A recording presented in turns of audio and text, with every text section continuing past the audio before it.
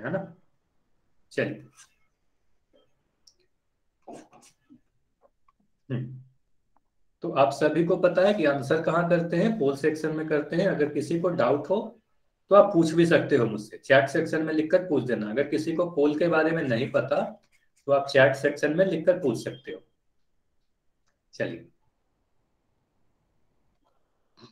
तो ये देखते हैं लास्ट क्लास में हमने क्या पढ़ा था? तो लास्ट क्लास में सबसे पहले चीज़ पढ़ाई गई थी त्रिभुज यानी ट्रायंगल ट्रायंगल या त्रिभुज होता क्या है? एक बंद आकृति होती है जो तीन भुजाओं से घिरी होती है।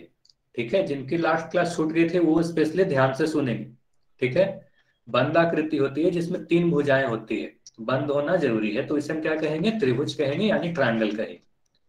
चलिए, अब जब ये जान गए कि त्रिभुज क्या होता है तो त्रिभुज के प्रकार देखते हैं। तो त्रिभुज के प्रकार के बारे में हमने पढ़ा कि कोण के आधार पर, यानी एंगल को अगर हम देखें उनके, त्रिभुज के कोण को देखें तो कोनों के आधार पर त्रिभुज तीन प्रकार के होते हैं। वो तीनों के नाम क्या क्या थे? Acute angle triangle right angle triangle और ऑप्ट्यूस एंगल ट्रायंगल मतलब न्यून कोण त्रिभुज, समकोण त्रिभुज और अधिक कोण त्रिभुज। ठीक है? तो तीनों चीज़ को एक बार मैं रिवाइज करवा दे रहा हूँ। न्यून कोण त्रिभुज किसे कहेंगे?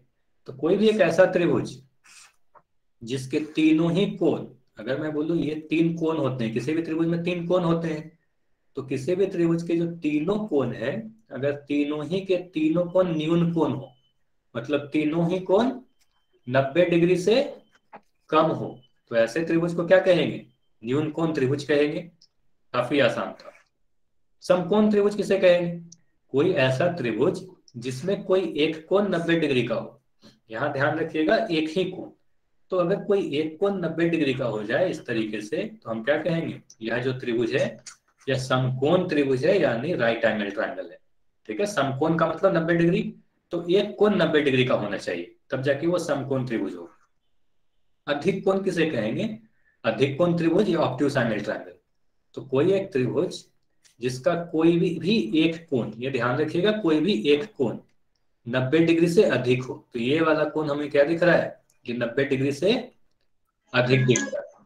तो ऐसा कोई त्रिभुज जिसमें कोई एक कोण 90 डिग्री से अधिक हो तो उसे क्या कहेंगे? अधिक कोण त्रिभुज। यही तीन चीज़ पढ़ाई गई थी। इसके बाद? समबाहु त्रिभुज पढ़ाया गया था। ठीक है उसके बारे में फिर से रिवाइज करेंगे। अच्छा जिनके छूट गए थे ना क्लास कोई दिक्कत नहीं समबाहु त्रिभुज हम लोग आज फिर से पढ़ लेंगे। ठीक है? तो ये सारी चीज़ें पढ़ाई गई थी, या नहीं, सभी लोग चैट सेक्शन में लिखकर बताएँगे। जो जो क्लास किए थे, वो बताएँगे, ये सारी चीज़ें याद है या नहीं आप सभी को वाई या एन ठीक है तो सभी को ये चीज़ें याद है। ठीक है तो अगर सभी को ये चीज़ें याद है तो एक टेस्ट लेते हैं, है ना? टेस्ट का मतलब एक आपको पता है कि हर क्लास के स्टार्टिंग में एक रिकॉल क्वेश्चन होता है है ना? तो रिकॉल क्वेश्चन का मतलब क्या है? एक ऐसा क्वेश्चन जो पिछले क्लास पे आधारित हो। तो आपको क्या करना है? उसका आंसर पोल सेक्शन में ही करना है। कोई भी चैट में आंसर नहीं देगा। सभी लोग पोल सेक्शन में आंसर देंगे। तो अभी आपके स्क्रीन पर एक क्वेश्चन दिख रहा होगा। तो एक त्रिभुज है जिसके तीनों कोनों के माप आपको दिए गए एक कोण तीस डिग्री का है, दूसरा पचास और तीसरा सौ डिग्री का है। तो आपको यह बताना है कि ये जो त्रिभुज होगी, यह त्रिभुज कैसा त्रिभुज है? न्यून कोण है, अधिक कोण है समकोण है, या इनमें से कोई नहीं? तो आप आंसर कहाँ करोगे? पोल सेक्शन में जाकर आंसर करोगे। तो पोल चैट में अभी कोई कुछ नहीं लिख पाएगा, क्योंकि चैट को मैंने अभी बंद कर रखा है है ना? तो आपको आंसर कहाँ करना है? पोल सेक्शन में जाकर करना है। अब पोल के बारे में अगर किसी को नहीं पता तो जैसे ही मैं पोल को एंड करूँगा तो चैट में आप पूछ लेना मुझसे।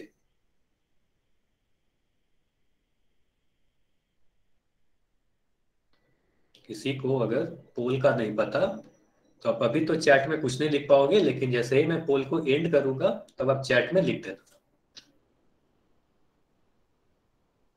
और यह क्वेश्चन काफ़ी आसान सा क्वेश्चन है।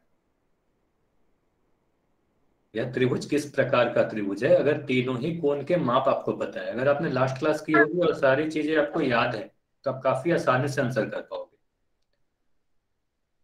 अच्छा किसी का कोई डाउट है क्या? किस, कोई तो है जो माइक ऑन करके भी बोला था। चलिए, अभी भी आधे बच्चे ही आंसर किए हो। काफ़ी बच्चे ऐसे हैं जो आंसर नहीं कर रहे। तो आपको क्या करना है? आंसर ज़रूर करना है। अच्छा एक चीज़ और है। आपकी अटेंडेंस जो है तभी लगती है जब आप क्लास में 80 परसेंट समय तक रहते हो। दूसरी बात, आपकी अटेंडेंस तभी लगती है जब आप पोल सेक्शन में आंसर करते हो। तो इसलिए मैं बार बार कहता हूँ पोल सेक्शन में आंसर करना ज़रूरी है। जब आप पोल सेक्शन में आंसर करोगे क्लास में एक्टिव रहोगे, तभी जाकर आपकी अटेंडेंस लगती है। तो आंसर चाहे गलत हो या सही हो आंसर ज़रूर करना है पोल सेक्शन में, ताकि आपकी अटेंडेंस लग सके, है ना? चलिए, अब मैं पोल को एंड कर रहा हूँ। पोल को एंड करते हैं और अब कोई भी आपका डाउट हो तो क्या करोगे? चैट सेक्शन में लिख दोगे। अब चैट आपका ओपन है और अगर किसी को पोल का आंसर पोल नहीं आता आपके मोबाइल में तो भी आप चैट में आंसर कर सकते हो। चलिए तो यहाँ त्रिभुज को देखें तो त्रिभुज के कोण क्या है? एक कोण तीस डिग्री का है, दूसरा पचास डिग्री है और तीसरा सौ डिग्री है। तो तीस डिग्री के बारे में आप क्या बोलोगे? या तो नब्बे डिग्री से कम है, यानी यह एक न्यून कोण है। तो पहला कोण हमें क्या दिखा? न्यून कोण दिखा। ठीक है। दूसरा, पचास डिग्री। तो पचास डिग्री क्या है? यह भी नब्बे डिग्री से कम है। मतलब यह भी एक न्यून कोण है। मतलब दो कोण कैसे मिल गए? नब्बे डिग्री से कम मिल गए। अब अच्छा जो भी आंसर ए दे रहे हैं या बी दे रहे हैं, एक बार ध्यान से सुन ले, आप सभी को समझ में आ जाएगा। अब अगर सौ डिग्री को देखें तो सौ डिग्री कैसा है? नब्बे डिग्री से अधिक दिख रहा होगा। तो नब्बे डिग्री से अधिक है तो हम क्या कहेंगे? यह एक अधिक कोण है है ना? तो यह एक अधिक कोण है। तो यह त्रिभुज, जो भी त्रिभुज है तो इसमें एक कोण हमें क्या दिख रहा है? नब्बे डिग्री से अधिक। तो ऐसे वाले त्रिभुज को ध्यान से सुनिए। ऐसा त्रिभुज जिसका एक कोण नब्बे डिग्री से अधिक हो, उसे क्या कहते हैं? अधिक कोण त्रिभुज कहते हैं। अभी तो बताया था आपको। और लास्ट क्लास में भी पढ़ाई गई थी। काफ़ी डिटेल में पढ़ाई गई थी लास्ट क्लास में। तो ऐसे कोण जिसका मान एक कोण अगर सौ डिग्री से अधिक है तो वह त्रिभुज क्या होगा? अधिक कोण त्रिभुज होगा, यानी ऑप्टिव एंगल ट्राइंगल होगा। तो इस क्वेश्चन का आंसर क्या हुआ? ऑप्शन नंबर बी ठीक है? अब मुझे ये बताएँ, जिनके भी आंसर ए थे, सरोज, गॉड गेमर और आरपी फिजर आप सभी के आंसर ए या डी थे। आप सभी को समझ में आया या नहीं कि इसका आंसर बी क्यों है?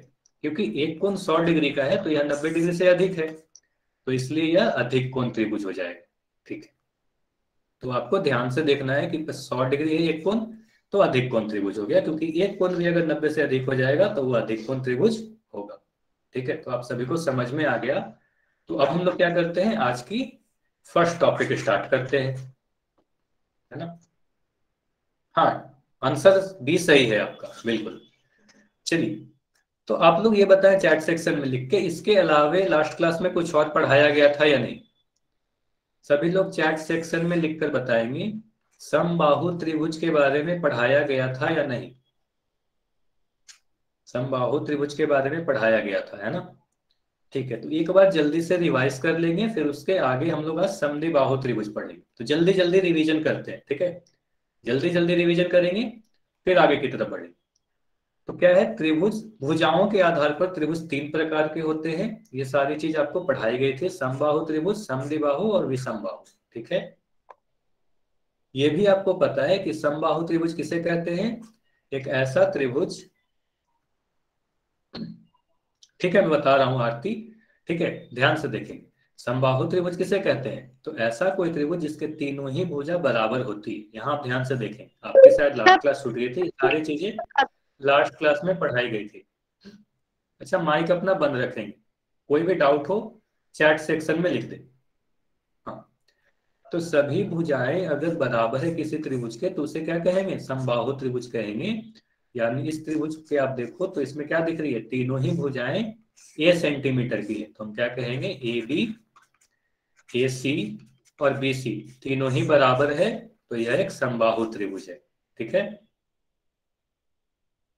प्रकार एक बार फिर से बता दीजिए। प्रकार मतलब त्रिभुज के प्रकार। तो त्रिभुज तीन प्रकार के होते हैं, भुजा के आधार पर। तो भुजा के आधार पर अगर तीन प्रकार देखो तो भुजा के आधार पर ये सारी चीज़ लास्ट क्लास में भी पढ़ाई गई थी, इसलिए मैं इसे जल्दी से बता रहा हूँ एक रिवीजन की तरह। तो त्रिभुज के भुजाओं के आधार पर इसे तीन प्रकार में बांटते हैं, एक समबाहु, समदिबाहु और विषम ठीक है? तो एक एक करके हम लोग पढ़ते हैं सभी चीज़ों को। तो समबाहु के बारे में मैंने क्या बताया? इसके तीनों ही भुजाएँ बराबर होगी, ठीक है?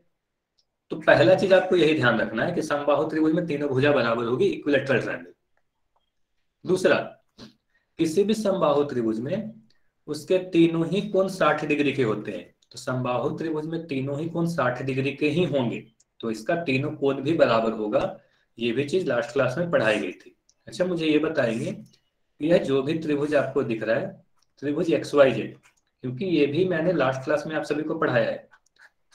तो ये मुझे बताएँ कि अगर मैं ये बोल रहा हूँ कि एक्स वाई की लंबाई 10 सेंटीमीटर है एक्स जेड की लंबाई भी 10 सेंटीमीटर है, और वाई जेड की भी लंबाई भी 10 सेंटीमीटर है तो मुझे ये बताएँ कौन एक्स का मान कितना होगा? जल्दी से बताएँ। कौन एक्स का मान कितना होगा? कौन वाई का मान कितना होगा? कौन जेड का मान कितना होगा? जल्दी जल्दी चैट सेक्शन में बताएँ। ये लास्ट क्लास में भी मैंने बताया था। तो यदि एक सब आपको क्या दिख रहा है कि इस त्रिभुज में इसके तीनों ही भुजा बराबर है, यानी एक्स वाई एक्स जेड और वाई जेड तीनों ही बराबर है। तो तीनों भुजा बराबर है तो एक ऐसा त्रिभुज है संबाहु यानी इक्विलेटरल ट्रायंगल अब इक्विलेटरल है तो इसको तीन तीनों कोण भी बराबर होंगे और तीनों कोण का मान कितना होगा? साठ डिग्री होगा, ये काफ़ी इंपॉर्टेंट है। तो तीनों ही कोण कितना होगा? साठ साठ डिग्री का होगा। ठीक है? ये लास्ट क्लास में भी आपको पढ़ाया गया था। ठीक है? इसलिए मैं इतना संक्षेप में बता रहा हूँ। लास्ट क्लास में काफ़ी डिटेल में ये चीज़ बताई गई थी। ठीक है? ये सारी बातें आपको याद है नहीं? वाई या एन अब हम लोग नेक्स्ट पढ़ते हैं इसके आगे। ठीक है? तो इसके आगे क्या पढ़ना है? समद्विबाहु त्रिभुज, ठीक है? इंग्लिश में क्या बोलेंगे? आइसोसेलस ट्रायंगल है ना? समद्विबाहु या आइसोसेलस ट्रायंगल अब हम लोग आज के फ़र्स्ट टॉपिक पढ़ रहे हैं। एक तरीके से देखा जाए तो आज की हम लोग ये फ़र्स्ट टॉपिक पढ़ रहे हैं समद्विबाहु त्रिभुज, ठीक है? तो समद्विबाहु त्रिभुज किसे कहते हैं? इसके नाम से आप देखो। तो नाम को अगर तोड़ो तो क्या क्या मिलेगा? पहला चीज़ मिलेगा सम दूसरा चीज़ मिलेगा द्वि, तीसरा मिलेगा बाहु, ठीक है? तो सम का मतलब क्या होता है? बराबर। द्वि का मतलब क्या होता है? दो। और बाहु का मतलब क्या होता है? भुजा, है ना? ठीक है? तो आप इसके शब्दों को देखो तो शब्दों से आप क्या बोल सकते हो? ऐसा त्रिभुज जिसकी दो भुजाएँ बराबर हो। सम द्विबाहु दो भुजा बराबर, ठीक है? तो ऐसा त्रिभुज जिसका दो भुजा बराबर होगा, उसे ही क्या कहेंगे? समद्विबाहु त्रिभुज कहेंगे। नाम से ही क्लियर हो रहा है। तो यहाँ डेफिनेशन को भी देखो, वही चीज़ लिख रखा है। यदि किसी त्रिभुज की दो भुजाएँ बराबर हो तो उसे समद्विबाहु त्रिभुज कहेंगे। यह तो काफ़ी आसान था। नाम से ही क्लियर हो गया। चलिए, अब अगर इस उदाहरण को देखें तो इस उदाहरण में आपको क्या दिख रहा है? कि इस वाले चित्र में हमें दिख रहा है ए सी और ए बी ये दोनों भुजाएँ हैं और ये दोनों भुजाएँ की लंबाई हमें दिख रही है बराबर है। ए सी और ए बी हमें बराबर दिख रही है। और दोनों ही की लंबाई ए सेंटीमीटर है ना? तो हम क्या कहेंगे? ये दो भुजा बराबर है और ये बी सी की लंबाई अलग है। ठीक है? तो हम इस वाले त्रिभुज को क्या कहेंगे? ये त्रिभुज एक समबाहु त्रिभुज है समधि बाहु त्रिभुज है ना? तो यह त्रिभुज क्या है? समधि बाहु त्रिभुज है। ठीक है? तो इसी तरीके से अगर मैं एक और त्रिभुज बना दू तो आप लोग बताओगे ये समदिबाहु त्रिभुज है या नहीं? अगर मैं यहाँ पर दे दू, ये पंद्रह सेंटीमीटर या पंद्रह सेंटीमीटर और ये बारह सेंटीमीटर। तो त्रिभुज एक्स वाई जेड समदिबाहु त्रिभुज है या नहीं? सभी लोग बताएँ। तो हमें दिख रहा है कि इसकी दो भुजाएँ एक्स वाई और एक्स जेड ये दोनों कैसी है? बराबर दिख रही है। दोनों ही पंद्रह सेंटीमीटर की है। तो दो भुजा अगर बराबर है तो क्या कहेंगे? यह एक समदिबाहु त्रिभुज है है ना? तो ये एक समदिबाहु त्रिभुज है। यस, ठीक है? चलिए, अब कोण के बारे में देखते हैं। समबाहु त्रिभुज के बारे में मैंने क्या बताया? इक्विलेटरल ट्रायंगल में क्या बताया? कि उसके तीनों ही कोण बराबर होते हैं। और तीनों कोण के मान कितने होते हैं? साठ डिग्री के होते हैं। ये चीज़ आपको याद होनी चाहिए। समदिबाहु त्रिभुज में क्या होगा?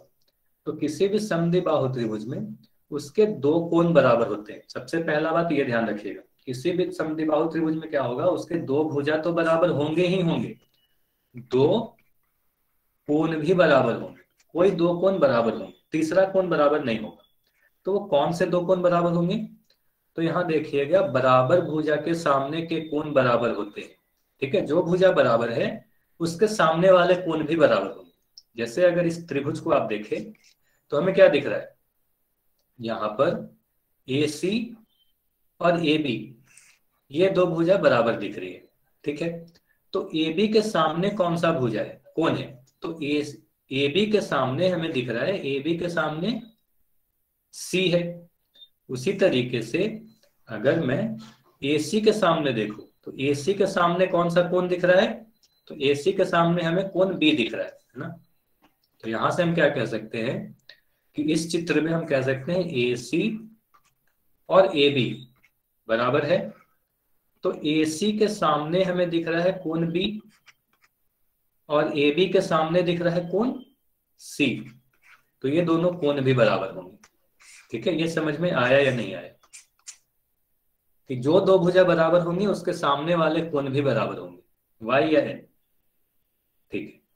अगर ये समझ में आ गया तो एक और उदाहरण से करते हैं। ऐसा पूजा आपको नहीं समझ में आया एक बार और हम लोग उदाहरण से करते हैं। एक और उदाहरण लेते हैं। ठीक। है यहाँ पर एक त्रिभुज मैंने बनाया इस तरीके से।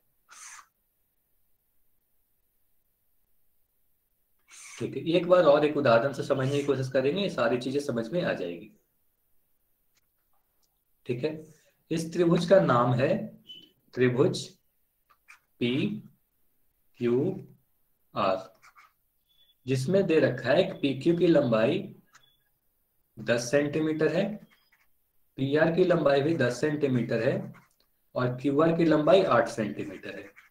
तो हम क्या कह सकते हैं? इस त्रिभुज में क्यू और आर बराबर है। तो दो भुजा बराबर है तो ये समदिबाहु त्रिभुज है, यानी आइसोसेलेस ट्रायंगल है। ठीक है। तो ये मुझे बताएँ पी क्यू के सामने कौन सा कोण है? क्यू के सामने।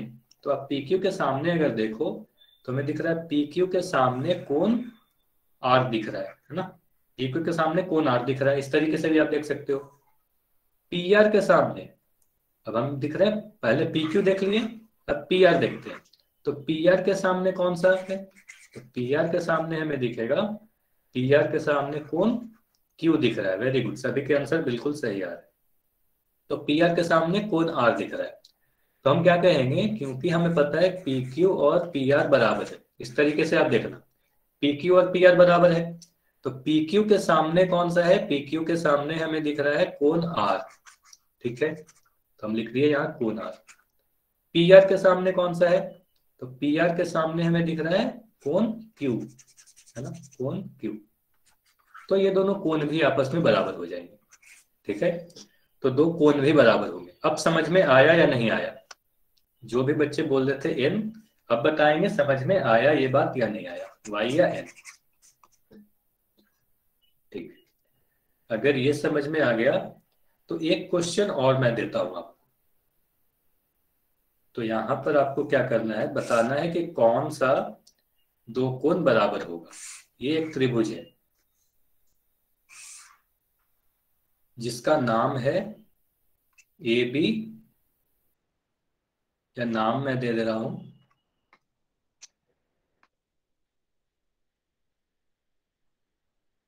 टी एल एम ठीक है? टी एल एम जहाँ पर ये 90 डिग्री है, ठीक है? अब ये दे रखा है कि टी एल और एल एम की लंबाई बराबर है।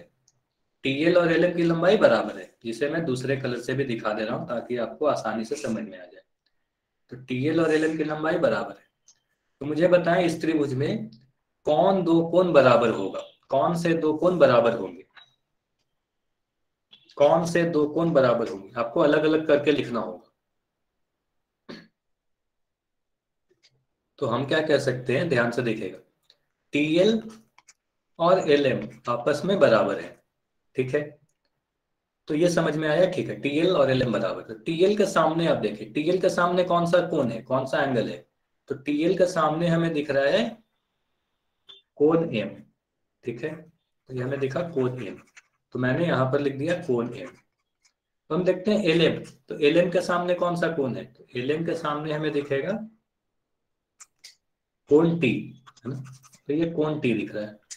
तो हम क्या कह सकते हैं? कोण एम और टी आपस में बराबर होंगे। तो हम क्या कह सकते हैं? इस त्रिभुज में कोण एम और कोण टी आपस में बराबर होंगे।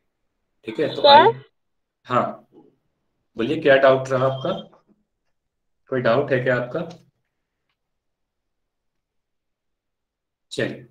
तो अब देखते हैं क्या क्या चीज़ें हमने पढ़ी समदिबाहु त्रिभुज में। तो समदिबाहु त्रिभुज में दो कोण बराबर होंगे और वो दो कोण कौन से होंगे? बराबर भुजा के सामने वाले कोण ही बराबर होंगे। ठीक है? अब हम लोग, ठीक है एक बार और बता दे रहा हूँ। इस वाले को फिर से मैं बता दे रहा हूँ।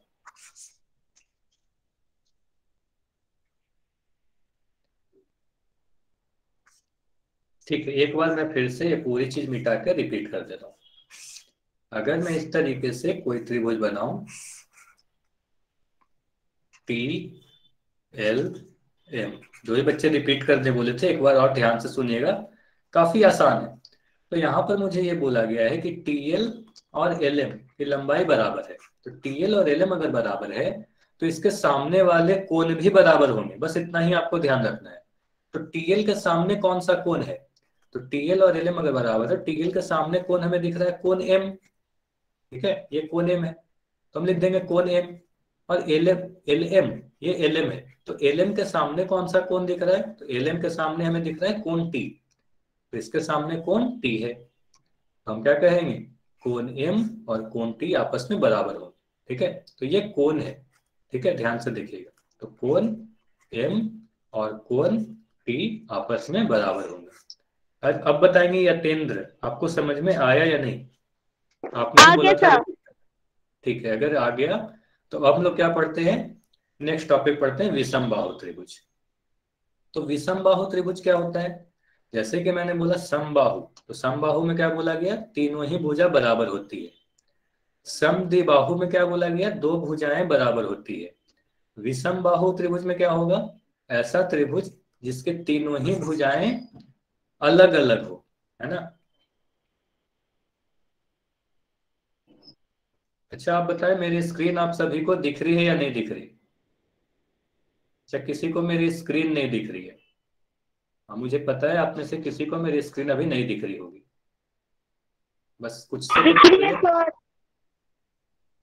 दिखेगी फिर से आप सभी को मेरी स्क्रीन दिखने लगी होगी है ना? चलिए अब आप सभी को मेरी स्क्रीन दिख रही है।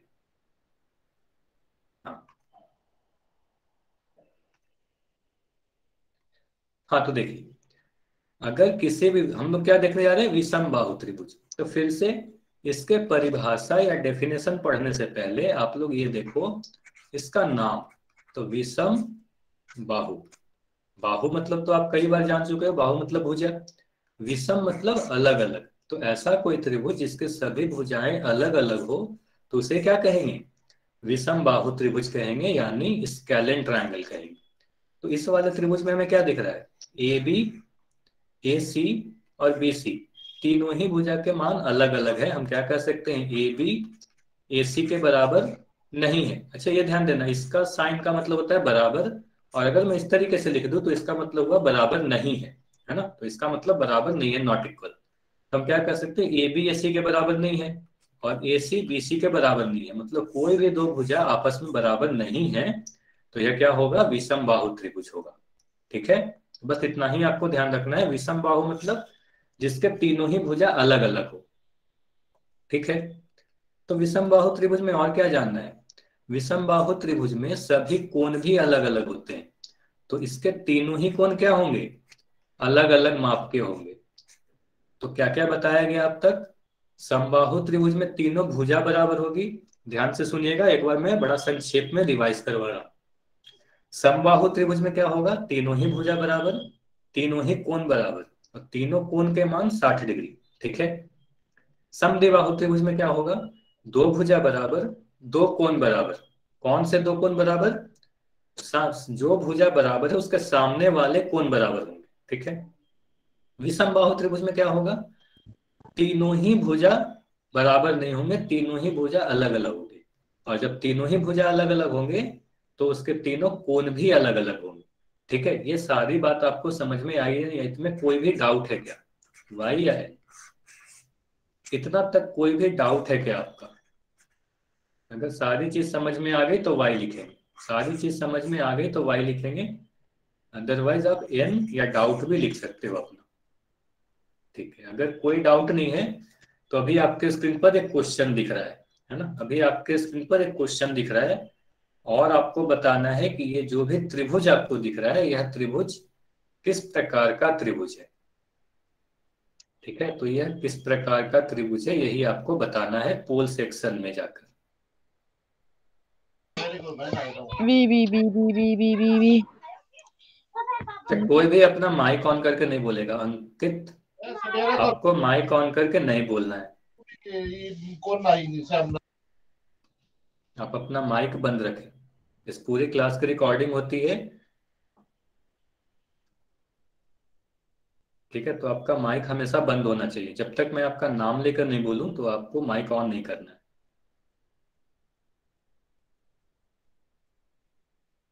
तो यहाँ पर आपको बताना है, ये चित्र में जो भी त्रिभुज दिखाया गया, या कौन सा त्रिभुज और जल्दी से आंसर करें, काफ़ी कम समय है आपके पास।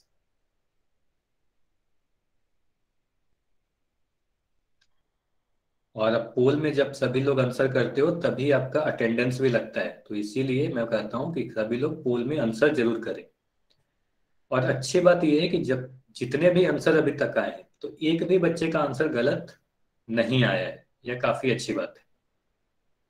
तो सभी के आंसर बिल्कुल सही है मतलब ये सारी चीज़ आपको समझ में आ रही है। लेकिन आंसर सभी बच्चों के अब तक नहीं आए अब मैं पोल को एंड कर रहा हूँ। बस पोल को मैं एंड कर रहा हूँ। अब तक अगर आपने आंसर नहीं किया तो अब आप कोई भी डाउट है आपका तो आप चैट सेक्शन में लिख सकते हो। चलिए तो यह चित्र देखें, त्रिभुज कौन सा है? तो इस चित्र को अगर हम देखें तो हम क्या कर सकते हैं? हमें दिख रहा है इसकी दो भुजाएँ ए बी पाँच सेंटीमीटर की है और ए सी भी पाँच सेंटीमीटर की है, जबकि बी सी चार सेंटीमीटर है। तो हम क्या कह सकते हैं? कि इस वाले त्रिभुज में ए सी और ए बी आपस में बराबर है मतलब दो भुजा बराबर है तो ऐसा त्रिभुज जिसकी दो भुजा बराबर है तो नाम से ही हमें पता चलता है सम द्विबाहु मतलब जिसके दो भुजा बराबर हो। तो इसका आंसर क्या होगा? ऑप्शन नंबर बी होगा। और जितने भी बच्चे आंसर दिए थे, ये अच्छी बात है कि कोई भी एक भी बच्चा ऐसा नहीं था जिसका आंसर ए बी सी या डी था। तो सभी के आंसर बी थे। तो इससे क्लियर है कि आप सभी को ये सारी चीज़ समझ में तो आ गई है। तो एक क्वेश्चन और करते तो फिर से देखें ये वाला चित्र और इसमें बताएँ कि यह कौन सा त्रिभुज आपको दिख रहा है। जल्दी से। बस मैं पोल को जैसे ही लॉन्च करूँगा, उसके बाद पाँच सेकंड का समय है आपके पास। तो जल्दी से आप जाएँ और आंसर करें। ये चित्र के तीनों भुजा आपको दिख रही है। जल्दी से आप लोग बताएँ कि यह कौन सा त्रिभुज है। आंसर गलती? हाँ आप आंसर कर दी हो तो अच्छी बात है। मुझे पता चल जाता है जैसे ही आप आंसर देते हो। ये त्रिभुज चैप्टर है त्रिभुज के बारे में आवाज़ नहीं आ रही आवाज़ इसलिए नहीं आ रही कि हो सकता है आपका नेटवर्क में थोड़ा प्रॉब्लम हो। तो आप एक बार या तो रिफ्रेश कर लो या फिर एक बार इस मीटिंग को लेफ़्ट करके फिर से ज्वाइन कर लो। है ना? फिर आपको मेरी आवाज़ आने लगेगी।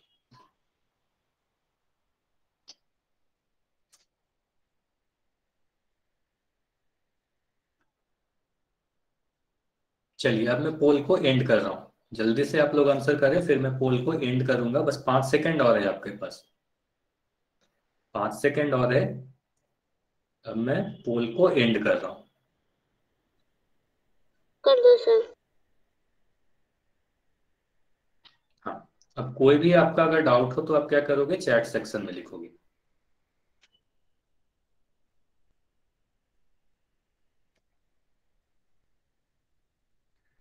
चलिए। तो ये जो चित्र दिखाया गया है, ये त्रिभुज, इस त्रिभुज में हम देखें तो क्या देख पा रहे हैं? इसके तीनों ही भुजाएँ चार चार सेंटीमीटर की है। मतलब हम क्या कर सकते हैं? सीधे इसके चित्र को देख के हम क्या कहेंगे? ए सी ए बी और बी सी तीनों ही आपस में बराबर है सभी चार सेंटीमीटर की है। तो ऐसा त्रिभुज जिसके सभी भुजाएँ बराबर है तो इसे क्या कहेंगे? इसका आंसर ऑप्शन सी होगा समबाहु त्रिभुज, ठीक है?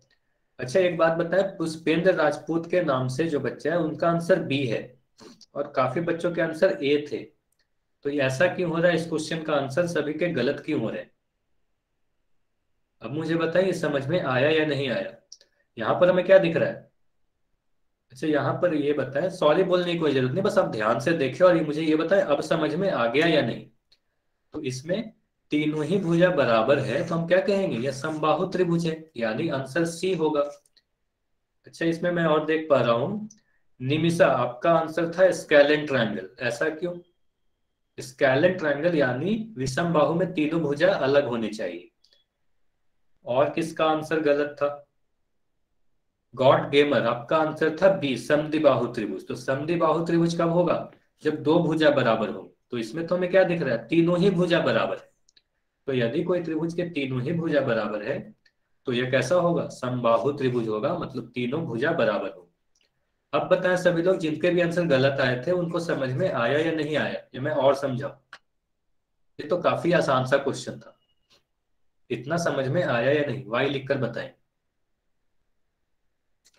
अच्छा गॉड गेमर आपका समझ में आ गया। वेरी गुड चलिए, ठीक है। तो आंसर आप लोग एक बार देख के करें कि क्या हाँ लेकिन ये ज़रूर है कि ट्राई ज़रूर किया करें। आंसर गलत हो या सही हो बट ट्राई ज़रूर करना है।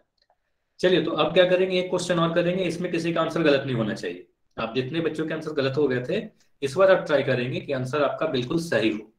तो फिर से आपको एक क्वेश्चन दिख रहा है और इस क्वेश्चन के सभी साइड को देखेंगे, सभी भुजा को देखेंगे और इसको देखकर बताएँगे कि यह कौन सा त्रिभुज है। जल्दबाजी में कोई नहीं आंसर करेगा। आराम से करे क्योंकि यह काफ़ी आसान सा क्वेश्चन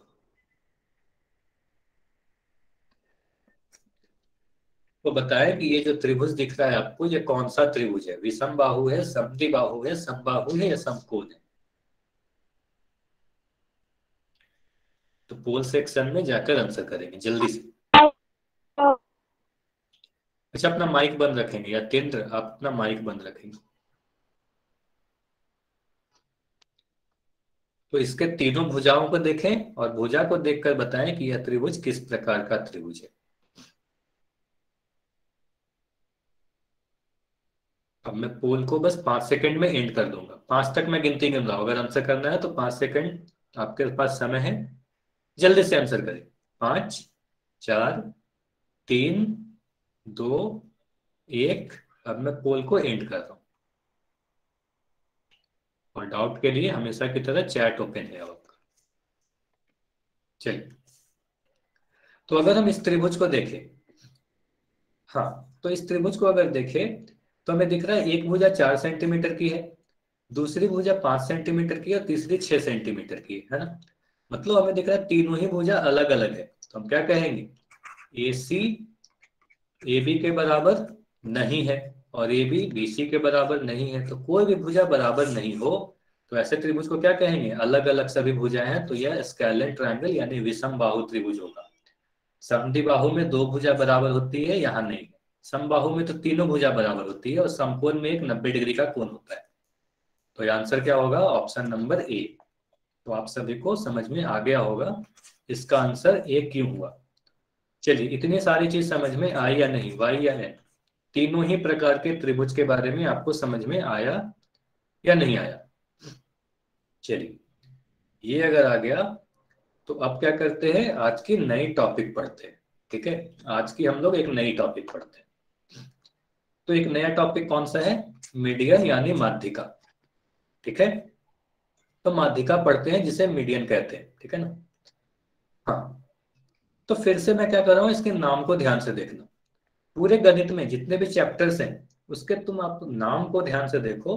अभी अभी क्या किए हम लोग? समद्विबाहु त्रिभुज समबाहु त्रिभुज और विषम बाहु त्रिभुज।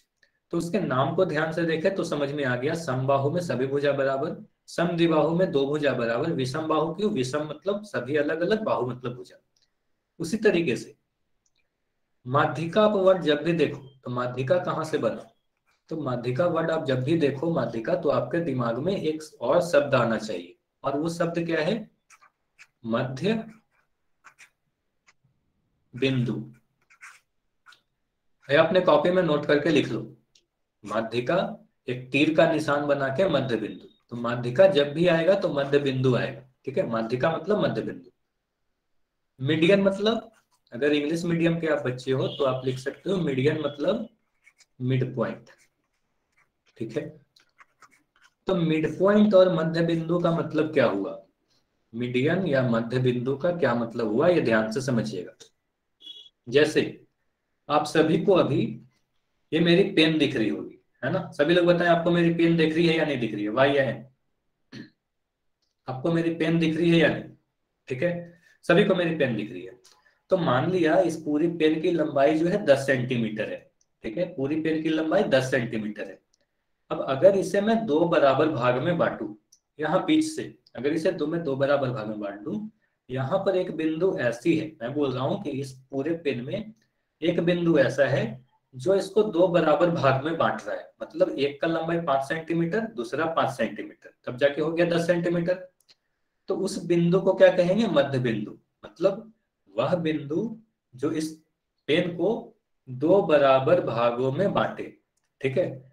तो वह बिंदु जो इस पेन को दो बराबर भागों में बांटे, उसे हम क्या कहेंगे? मध्य बिंदु। अच्छा पेन नहीं भी दिखी तो कोई दिक्कत नहीं है। बस आप इमेजिन कर लो, मध्य बिंदु का मतलब क्या हुआ? वह बिंदु जो किसी भी रेखाखंड को दो बराबर भाग में बांटेगी, उसे ही मध्य बिंदु कहेंगे।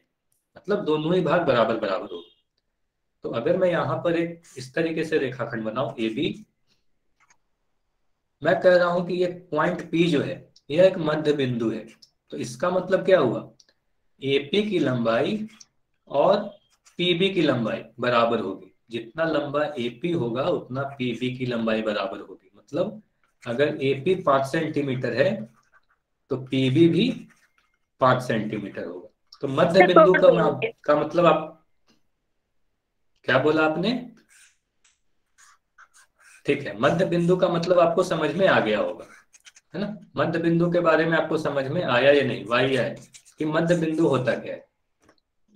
मध्य बिंदु मतलब दो बराबर भागों में बांटने वाला पॉइंट ठीक है? किसी भी रेखाखंड? चलिए तो अब हम लोग देखते हैं माध्यिका क्या होता है और मैं मध्य बिंदु क्यों समझा रहा था? तो सबसे पहले इसके डेफिनेशन यानी परिभाषा को पढ़े। तो परिभाषा को अगर आप पढ़ोगे तो क्या लिख रखा है? त्रिभुज के शीर्ष और उसके सामने के भुजा के मध्य बिंदु। इसीलिए मैं पढ़ा रहा था। मध्य बिंदु को मिलाने वाले रेखाखंड को ही त्रिभुज की माध्यिका कहते हैं। ठीक है? तो इसे आप पढ़ोगे तो सारी चीज़ें समझ में तो नहीं आएँगी। समझ में कैसे आएगा? उदाहरण से आएगा एग्ज़ाम्पल से आएगा। तो इसको समझने के लिए हम लोग क्या लेते हैं? एक त्रिभुज लेते हैं। कौन सा त्रिभुज? त्रिभुज एबीसी तो हमने ले लिया एक त्रिभुज एबीसी अब हम कहते हैं कि मान लो इस भुजा बीसी यहाँ पर आपको एक भुजा दिख रहा है बीसी ये नीचे वाली भुजा। ठीक है? तो बीसी का मध्य बिंदु मैंने बोला कि यहाँ पर एक मध्य बिंदु है ई तो अगर ई इस बीसी की मध्य बिंदु है तो हम क्या लिख सकते हैं? सीई बराबर बी यस या नो ऐसा होगा या नहीं होगा? सी और बी की लंबाई बराबर होगी कि नहीं? अगर ई मध्य बिंदु है तो। अगर ई मध्य बिंदु है, यानी मिड पॉइंट है, इसका मतलब ई क्या करेगा? ई सी बी को बराबर बराबर भागों में बांटेगा। मतलब अगर बीसी की लंबाई 10 सेंटीमीटर है तो सी पाँच सेंटीमीटर होगी और ये भी पाँच सेंटीमीटर होगी। ये समझ में आ गया? ठीक है तो हम क्या कहेंगे? अगर बिंदु ई भुजा बीसी का मध्य बिंदु है तो हम कह सकते हैं सी बी के बराबर होगा। ये समझ में आ गया। अब अगर हम ए से ई को मिला दे, अगर हम ए से ई को मिला दे तो ये जो रेखाखंड आपको दिख रहा है ए से ई पहले हमको पता है सी और बी बराबर है आपस में। ठीक तो यहाँ पर हमें क्या दिख रहा है? ए और ई e को अगर हम मिला दे तो ये जो ए रेखाखंड आपको दिख रही है ए को आप क्या बोलोगे? ए इस त्रिभुज की माध्यिका है। अब आपको समझ में आया होगा इसका मतलब। तो इसका मतलब देखो, त्रिभुज का शीर्ष मतलब शीर्ष कौन सा है? ए और ए के सामने की भुजा कौन सी है? बीसी तो ए को सामने वाली भुजा के मध्य बिंदु से मिलाने वाले रेखाखंड को क्या कहेंगे? ए को कहेंगे त्रिभुज की माध्यिका। ये समझ में आया या नहीं आया? जल्दी से बताए। त्रिभुज की माध्यिका बोलेंगे ठीक है? और भी माध्यिका होगा क्या इस त्रिभुज का? हाँ तो अगर इसमें देखो ए बी भी एक, एक भुजा है। इस त्रिभुज की दूसरी भुजा कौन सी है? ए बी जिसे मैं हरे कलर से दिखा तो यहाँ पर आपको दिख रहा होगा। अच्छा माइक सभी लोग बंद रखे। इस तरीके से आप अगर माइक ऑन करते हो तो पूरी क्लास डिस्टर्ब होती है। तो हमें दिख रहा है कि ए बी भी एक भुजा है। तो इस ए बी का भी एक मध्य बिंदु होगा डी हमें इससे भी एक पता चल रहा है कि ए डी और बी डी की लंबाई बराबर होगी। ए डी और बी डी की लंबाई बराबर होगी। तो सी डी को क्या कहेंगी? सी डी को क्या कहेंगी? सी डी भी इस त्रिभुज की एक माध्यिका है। हाँ बी से भी हो सकता है, बिल्कुल बी से भी होगा। तो पहले आप पहले दूसरी माध्यिका देखो, एक माध्यिका हमें क्या मिल गई? ए, दूसरी माध्यिका कौन सी मिल गई? सी डी और तीसरी माध्यिका देखो अगर ए सी को आप अगर ध्यान से देखो ए सी को मैं ब्राउन कलर से बना रहा हूँ। तो ए सी भी आपको दिखेगा कि एक भुजा है। तो ए सी भुजा का भी एक मध्य बिंदु होगा यहाँ पर, है ना? इसे मैं और अच्छे तरीके से बना दे रहा हूँ ताकि आपको सही से दिखे। चलिए तो ए सी एक भुजा है और इसकी भी एक मध्य बिंदु होगी यहाँ पर, जिसको मैं नाम दे रहा हूँ एफ़ है ना? तो अगर मैं बी से एफ़ को मिला दू तो हम क्या कहेंगे? ये जो रेखाखंड है बी एफ़ तो ये क्या होगा? यह भी एक माध्यिका होगा। तो इस त्रिभुज में कितनी माध्यिका मिल गई? तीन माध्यिका मिल गई है। एक ए दूसरा सी डी तीसरी बी एफ़ ये मिली या नहीं? सभी लोग बताएँ। तीन माध्यिका, मिली या नहीं? ठीक है? तो तीन माध्यिका होगी। तो किसी भी त्रिभुज में कितनी माध्यिका होगी? तीन माध्यिका होगी। किसी भी तरीके से आप त्रिभुज बनाओ तो किसी भी त्रिभुज में तीन माध्यिकाएँ होंगी। चलिए। अगर मैं इस तरीके से एक त्रिभुज बना रहा पी क्यू आर ठीक है? तो इस त्रिभुज की अगर मैं बात करूँ तो हम क्या कहेंगे? अगर पी क्यू का मध्य बिंदु क्यू एम है तो आर एम क्या होगा? इस त्रिभुज का एक माध्यिका होगा। अगर मैं कह रहा हूँ क्यू आर का एक मध्य बिंदु ए है तो पी ए क्या होगा? दूसरा माध्यिका होगा। इस तरीके से सीधा आएगी और एक माध्यिका यहाँ से आएगी। है ना? क्यूबिक तो किसी भी त्रिभुज में तीन माध्यिकाएँ होंगी। ठीक है? तो किसी भी त्रिभुज में कितनी माध्यिका होगी? तीन माध्यिका होगी। ये सारी चीज़ समझ में आई नहीं? अब मैं कुछ क्वेश्चन पूछता हूँ। आप सभी से कुछ क्वेश्चन पूछता हूँ, सभी लोग चैट सेक्शन में ही आंसर करें। अभी आपको पोल में आंसर नहीं करना है। तो अभी किसी को भी पोल में आंसर नहीं करना है। तो यहाँ पर आपको क्या दिख रहा है? इस त्रिभुज में तीन माध्यिकाएँ दिख रही होगी। चलिए कुछ कुछ मैं क्वेश्चन जो पूछ रहा हूँ, सभी को चैट सेक्शन में आंसर देना है। तो हमें क्या पता चल गया डी किस किसका मध्य बिंदु है, सभी लोग बताएँगे। डी जो पॉइंट है, किस भुजा की मध्य बिंदु है? डी किस भुजा की मध्य बिंदु है? जल्दी से बताएँ। पॉइंट डी किस भुजा की मध्य बिंदु है? सी आंसर सी आप बोल हो। सी ए बी, देखो, एक आंसर सही आया ध्यान से देखिएगा। बिंदु डी जो है, भुजा ए बी की मध्य बिंदु है, ये ध्यान से देखिएगा। भुजा ए बी की मध्य बिंदु ठीक है, एक आंसर मैं बता दी। ठीक है, अगले बार से आप लोग सही बताओगे। तो मैं पूछू डी के बारे में तो आप बोलोगे, डी किस पर स्थित है? ए बी पर स्थित है ना तो भुजा ए बी की मध्य बिंदु है। ठीक है, ये समझ में आया या नहीं आया? तो डी ए बी की मध्य बिंदु है। ठीक है? चलिए अब मैं क्वेश्चन पूछ रहा हूँ। तो फिर से आप लोग बताएँगे ई e, बिंदु ई e किस भुजा की मध्य बिंदु है? बिंदु ई e किस भुजा की मध्य बिंदु है? जल्दी से चैट सेक्शन में बताएँ। बिल्कुल कॉमा लगाने की कोई ज़रूरत नहीं है। आप बस सी भी बोलोगे। सी कॉमा बी लगाने की कोई ज़रूरत नहीं है। भुजा की मैं जब बात कर रहा हूँ तो भुजा कौन सी होगी? ये बीसी भुजा होगी ना? ये बीसी भुजा लिखा जाएगा। तो या तो आप सी बी लिखो या बीसी लिखो, दोनों ही बात बराबर है। तो भुजा सीबी या बीसी की मध्य बिंदु है। ठीक। चलिए। अब मैं और भी कुछ क्वेश्चन पूछता हूँ। अब मुझे ये बताएँगे अगर मैं ये बोलूँ कि एडी की लंबाई या ए बी की लंबाई 20 सेंटीमीटर है मतलब ये पूरी लंबाई ए बी की ये 20 सेंटीमीटर है। तो मुझे ये बताएँ एडी की लंबाई कितनी होगी? एडी की लंबाई कितनी होगी? जल्दी से बताएँ। ये एडी की लंबाई कितनी होगी इतना? बिल्कुल, सभी के आंसर बिल्कुल सही आ रहे हैं। तो मुझे ये पता है कि डी मध्य बिंदु है। तो डी क्या करेगा? ए बी को दो बराबर भागों में बांटेगा। अगर ये पूरा बीस है तो ये दस होगा और ये भी दस होगा।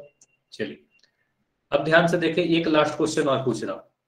अगर ए एफ़ की लंबाई आठ सेंटीमीटर है ए एफ़ की लंबाई अगर आठ सेंटीमीटर है तो मुझे ये बताएँ ए सी की लंबाई कितनी होगी? मतलब ये पूरी ए सी की लंबाई कितनी होगी? ध्यान से देख कर बताएँगे अशोक, आप एक बार अपना आंसर चेक कर लोगे। अशोक के नाम से जो बच्चा है अपना आंसर चेक कर लो हाँ तो ए एफ़ अगर आठ सेंटीमीटर है तो हम कह सकते हैं सी एफ़ भी आठ होगा। क्योंकि एफ़ क्या है? मध्य बिंदु है तो ये दो बराबर भागों में बटेगा तो ये आठ तो ये भी आठ। और ए सी कितना होगा? ए सी होगा A F plus F C मतलब आठ जोड़ आठ, यानी सोलह सेंटीमीटर ये सारी चीज़ें में कोई भी डाउट है क्या आपका? आप वाई आपको अगर सारा चीज़ समझ में आ गया तो वाई लिखेंगे। और कोई भी डाउट है तो एन ये आप अपना डाउट टाप टाइप करके बता सकते हो। सारा चीज़ समझ में आ गया तो आप वाई लिख सकते हो। चलिए, ये सारी चीज़ समझ में आ गया तो हम लोग और एक चीज़ देखते हैं। अच्छा एक चीज़ और बताएँगे। किसी भी त्रिभुज में कितनी माध्यिका होती है? सभी लोग चैट सेक्शन में लिखकर बताएँ। किसी भी त्रिभुज में कितने मीडियन होते हैं? कितनी माध्यिकाएँ होती है किसी भी त्रिभुज में? बिल्कुल सही। किसी भी त्रिभुज में तीन माध्यिकाएँ होंगी। चलिए। सभी सिर से एक एक मीडियन होगा, है ना? जो सामने वाले भुजा को दो बराबर भागों में बांटेगा। चलिए। अब देखो यहाँ क्या लिख रखा है। ये काफ़ी इंपॉर्टेंट चीज़ है। ये सब आपके क्लास नाइन्थ और टेंथ दोनों ही के लिए काफ़ी महत्वपूर्ण है, ठीक है? ये सारी चीज़ें आपको ध्यान रखनी है, ठीक है? वेरी इंपॉर्टेंट तो त्रिभुज की माध्यिका त्रिभुज को दो बराबर हिस्सों में बांटती है। तो दो बराबर हिस्सों में बांटने का क्या मतलब हुआ? तो दो बराबर हिस्सों में बांटने का मतलब हुआ, अगर हम कहें कि ये त्रिभुज एबीसी है और त्रिभुज एबीसी में ए क्या है? माध्यिका है। तो ए अगर इस त्रिभुज एबीसी की माध्यिका है, ध्यान से देखिएगा, काफ़ी ज़्यादा ये इंपॉर्टेंट चीज़ मैं आपको बताने जा रहा हूँ। ठीक है? ये काफ़ी इंपॉर्टेंट चीज़ है। वेरी इंपॉर्टेंट मैं स्टार मार देता ठीक है? इसको नोट भी कर लिया स्क्रीनशॉट ले ले अच्छा मैं सारी चीज़ें बता दूँगा, तब जाके स्क्रीनशॉट ले लेना तो यदि ए त्रिभुज एबीसी की एक माध्यिका है तो हम क्या कह सकते हैं? इसकी, या देखो, कोई भी त्रिभुज आप बनाओगे, अगर मैं यहाँ से एक माध्यिका बना दू तो यह त्रिभुज को दो बरा, दो हिस्सों में बांट रही है। एक हिस्सा आपको दिख रहा होगा ऑरेंज कलर से और दूसरा हिस्सा आपको दिख रहा है ब्लू कलर से, है ना? तो ये माध्यिका क्या हुआ? त्रिभुज को दो हिस्सों में बांट दी, है ना? त्रिभुज को दो हिस्सों में बांटा गया। और आपको ये ध्यान रखना है कि ये जो दोनों हिस्से होंगे, दोनों के क्षेत्रफल बिल्कुल बराबर होंगे। ये ध्यान रखना है आपको, ये वेरी इंपॉर्टेंट है। इस पे आधारित आपके एग्ज़ाम में क्वेश्चन ज़रूर पूछा जाएगा। तो अगर मैं बोल रहा हूँ कि ए क्या है? माध्यिका है तो त्रिभुज, ये जो ब्लू पार्ट से मैं रंग रहा हूँ, इसका क्षेत्रफल और जो मैं अभी ग्रीन कलर से रंग रहा हूँ, इस वाले भाग का क्षेत्रफल, दोनों का क्षेत्रफल क्या होगा? बराबर होगा। क्षेत्रफल मतलब एरिया होता है। कोई भी आकृति कितना जगह किसी भी सतह पर छेकता है या लेता है, उसे ही हम क्या कहते हैं? क्षेत्रफल कहते हैं। ठीक है? क्षेत्रफल तो आपने पढ़ा होगा। आयत का क्षेत्रफल, वर्ग का क्षेत्रफल area of triangle area of circle है ना? क्षेत्रफल आपने पढ़ा होगा। चलिए तो अब ध्यान से देखें। तो मैंने क्या बोला कि इन दोनों ही भाग के क्षेत्रफल बराबर होंगे। तो हम क्या लिख सकते हैं? आप लोग इसके स्क्रीनशॉट ले लें। इस पेज की आप स्क्रीनशॉट ले लें। ठीक है? ये काफ़ी इंपॉर्टेंट है। ठीक है? ये वेरी इंपॉर्टेंट ठीक है? तो अगर ए त्रिभुज एबीसी के माध्यिका है तो area of triangle A B तो ए बी त्रिभुज कहाँ दिख रहा है? हमें यहाँ दिख रहा है। ठीक है? तो ये त्रिभुज हमें दिख रहा है। सॉरी ये ए सी है। एक बार मैं इरेज कर दू। ठीक है? तो हम अगर देखें त्रिभुज ए बी तो ए बी त्रिभुज कहाँ पर आपको दिख रहा है? ये वाला त्रिभुज, है ना? ये त्रिभुज है हमारा ए बी ठीक है? अब हम देखते हैं ए सी कहाँ पर है? तो त्रिभुज ए सी कौन सा है? ये वाला त्रिभुज। तो ये दोनों का क्षेत्रफल क्या होगा? बिल्कुल बराबर बराबर होगा। तो अगर आप कहें त्रिभुज ए बी ए बी का क्षेत्रफल 20 सेंटीमीटर स्क्वायर है तो ए सी का क्षेत्रफल कितना होगा? यह भी 20 सेंटीमीटर स्क्वायर होगा। ये सारी चीज़ समझ में आई या नहीं आई? यस या नो इसे मैं और एक और उदाहरण से समझा देता हूँ। ठीक है? अगर ये समझ में आ गया तो एक और उदाहरण से समझते हैं। ठीक है? यहाँ पर ध्यान से देखिए। यहाँ पर एक त्रिभुज बनाया गया, इस तरीके से। ठीक है? इसका नाम पी क्यू आर है। इस त्रिभुज का नाम क्या है? पी क्यू आर चलिए। अब मैं कह रहा हूँ कि क्यू एम क्यू एम क्या है? माध्यिका है। क्यू एम क्या है? माध्यिका है। तो इसका मतलब क्या हुआ? क्यू एम माध्यिका होने का मतलब एम क्या हो गया? पी आर का मध्य बिंदु मतलब पीएम की लंबाई और एम आर की लंबाई बराबर बराबर होगी। आपसे अगर बोला जाए कि अगर ये पाँच सेंटीमीटर की लंबाई है पीएम तो एम आर भी पाँच होगा। तो इतना आपको पता है कि एम मध्य बिंदु हो गया। अब मैं अगर ये बोल रहा हूँ कि इस वाले भाग का क्षेत्रफल, त्रिभुज क्यू पी एम का क्षेत्रफल दिया गया है पंद्रह सेंटीमीटर स्क्वायर ये क्षेत्रफल दिया रखा है। पंद्रह सेंटीमीटर स्क्वायर तो सभी लोग ये बताएँगे इस पूरे त्रिभुज पी क्यू आर का क्षेत्रफल कितना होगा? पूरे त्रिभुज का क्षेत्रफल कितना होगा? जल्दी से बताएँगे सभी लोग। अच्छा माइक अपना बंद रखें। जो भी बच्चा अपना माइक ऑन रखा है अपना माइक बंद रखें। चलिए आंसर बिल्कुल सभी के सही आ रहे हैं काफ़ी अच्छी बात है। ठीक है? ये काफ़ी अच्छा है। तो मुझे पता है कि ये माध्यिका जो है, इस त्रिभुज को दो बराबर भागों में बांट देगी बराबर भाग में बांटने का मतलब दो बराबर क्षेत्रफल होगा। दोनों का एरिया बराबर बराबर होगा। तो हम ये कह सकते हैं, ये ऊपर वाला जो त्रिभुज है क्यूपीए इसका क्षेत्रफल, और ये नीचे वाला जो त्रिभुज है, इसका क्षेत्रफल, दोनों का क्षेत्रफल क्या होगा? बराबर होगा। तो हम कहें कि ये वाली, अगर मैं कहूँ, इसकी क्षेत्रफल पंद्रह है तो इसकी भी क्षेत्रफल पंद्रह हो जाएगी। तो दोनों पंद्रह पंद्रह तो टोटल एरिया कितना हो जाएगा? तीस सेंटीमीटर स्क्वायर ये सारी चीज़ समझ में आई या नहीं? इसमें कोई भी डाउट है क्या आपका? सर एक बार और समझा दो। ठीक है मैं एक बार और समझा दे रहा हूँ। ठीक है मैं एक बार और समझा दे रहा हूँ। और ये काफ़ी इंपॉर्टेंट भी है आपको अच्छे से समझना भी है। ठीक है?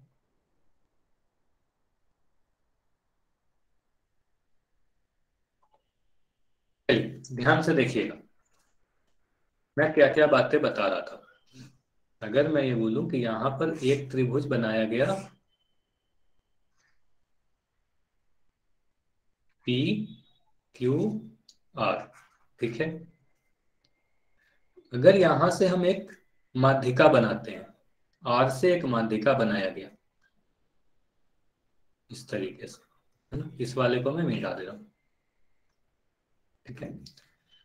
इसको नाम मैंने दे दिया आर एस। तो आर एस क्या है? माध्यिका है। ये चीज़ होना बहुत ज़रूरी है। कोई और दूसरी लाइन होगी तो ऐसी नहीं होगी। माध्यिका होनी बहुत ज़रूरी है। तो माध्यिका मतलब क्या? एस क्या है? पी क्यू का मध्य बिंदु एस क्या होना चाहिए? पी क्यू का मध्य बिंदु होना चाहिए। है ना? मध्य बिंदु। अच्छा माइक अपना बंद रखे तभी सारी चीज़ समझ में आएगी। ठीक है? मैं ये बार बार रिपीट इसलिए कर रहा हूँ क्योंकि ये काफ़ी इंपॉर्टेंट टॉपिक है। इसलिए मैं बार बार रिपीट कर रहा हूँ, है ना? तो ये मैं पूछ रहा था कि अगर ये वाले भाग, त्रिभुज, मैं आपसे बोल रहा हूँ, त्रिभुज आर पी एस का क्षेत्रफल ए आर मतलब एरिया त्रिभुज, इसका क्षेत्रफल जो है 20 सेंटीमीटर स्क्वायर दी गई है। ठीक है ना? तो इसकी क्षेत्रफल 20 सेंटीमीटर स्क्वायर दी गई है। ये वाले त्रिभुज की। ठीक है? तो मुझे ये बताए पूरे त्रिभुज त्रिभुज पी क्यू आर का क्षेत्रफल कितना होगा? चालीस। हाँ बिल्कुल। अपना माइक पहले बंद कर दे। सभी लोग अपना माइक बंद रखें। ठीक है? तो जो बच्चा रिपीट करने बोल रहा था वो एक बार ध्यान से सुन ले। तो हम ये कह सकते हैं कि अगर हाँ, अगर आरपीएस का क्षेत्रफल 20 है तो एस क्यू आर त्रिभुज एस क्यू आर का भी क्षेत्र अपना माइक बंद कर दे अदरवाइज़ सभी को डिस्टरबेंस हो रही है ना? तो जो भी बच्चा अपना माइक ऑन रखा है, अपना माइक बंद रखे। तो हम ये कह सकते हैं, त्रिभुज एस क्यू आर का भी क्षेत्रफल, यानी एरिया क्या होगा? यह भी 20 सेंटीमीटर स्क्वायर ही होगा, क्योंकि यह एक माध्यिका है तो दो बराबर भागों में बटे। तो माध्यिका क्या करता है? त्रिभुज को दो बराबर भागों में बांटता है तो ये दोनों के क्षेत्रफल बराबर बराबर होंगे। त्रिभुज ये वाले त्रिभुज का क्षेत्रफल और ये नीचे वाले त्रिभुज का क्षेत्रफल, दोनों का क्षेत्रफल बराबर होगा। तो पूरे त्रिभुज का क्षेत्रफल अगर निकालना है तो हम क्या करेंगे? दोनों के क्षेत्रफल को जोड़ देंगे। ये बीस हुआ, ये भी बीस हुआ तो बीस बीस जोड़ दे तो 40 सेंटीमीटर स्क्वायर आ गया तो हम क्या कहेंगे? इसका क्षेत्रफल 40 सेंटीमीटर स्क्वायर। इसमें कोई भी डाउट है, अब समझ में आया या नहीं?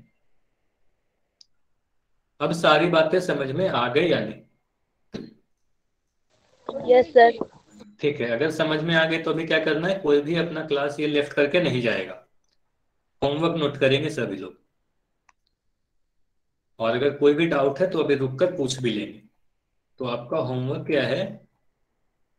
तो आज का होमवर्क है आपका एक्सरसाइज 2.2 और 2.2 ध्यान देना कि जैसे बुक स्टार्ट होती है तो वहाँ पर भी एक्सरसाइज 2.2 मिलेगा आपको है ना? तो वो वाली 2.2 तो काफ़ी पहले हो चुकी है। ये त्रिभुज में देखना।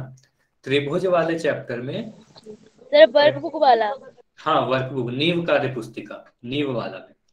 तो नीव में आप देखना कि त्रिभुज में 2.2 एक्सरसाइज है तो आपकी होमवर्क क्या क्या है? आज की एक्सरसाइज 2.2 फिर एक्सरसाइज 3.1 ये दो एक्सरसाइज आपको करनी।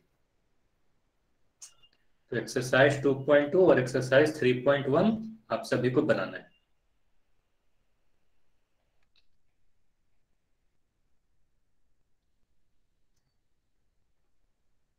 तो आपको एक्सरसाइज 2.2 और 3.1 करना है। अच्छा कोई बच्चा ऐसा है जिसके पास बुक अब तक नहीं है?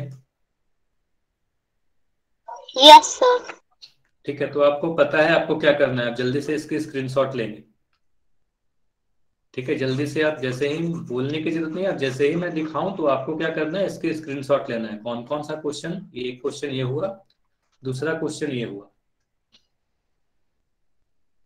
हाँ तो जिसके पास भी नहीं है स्क्रीनशॉट ले लेंगे जल्दी से।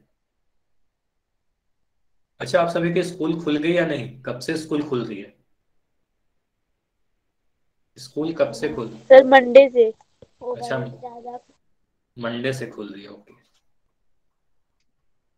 ठीक है अगर स्क्रीनशॉट ले लिया तो जल्दी से चैट सेक्शन में लिखकर बता देंगे फिर नेक्स्ट पेज में दिखा दो और अगर कोई डाउट नहीं है तो क्लास लेफ़्ट करके आप जा सकते हो। और कोई डाउट है तो रुकेंगे अभी। ठीक है बाईस को खुलेगी सही। कोई दिक्कत ठीक है स्क्रीनशॉट अगर ले लिया तो बताएँगे लिख। चैट सेक्शन में लिखकर बताएँगे। स्क्रीनशॉट अगर ले लिया तो आप बताएँगे जल्दी से। 2.2 और 3.1 ये दोनों एक्सरसाइज ठीक है, अगर इसके स्क्रीनशॉट ले ली तो ये वाली। ये भी दो क्वेश्चन है। तो ये सारे क्वेश्चन में आपको बताना है कि भुजा का क्या नाम है, कोन का क्या नाम है शीर्ष का क्या नाम है। ठीक है, अगर इसकी स्क्रीनशॉट जल्दी से ले, फिर मैं एक्सरसाइज 3.1 की पेज दिखाऊँगा, फिर आप लोग उसके स्क्रीनशॉट ले लेना।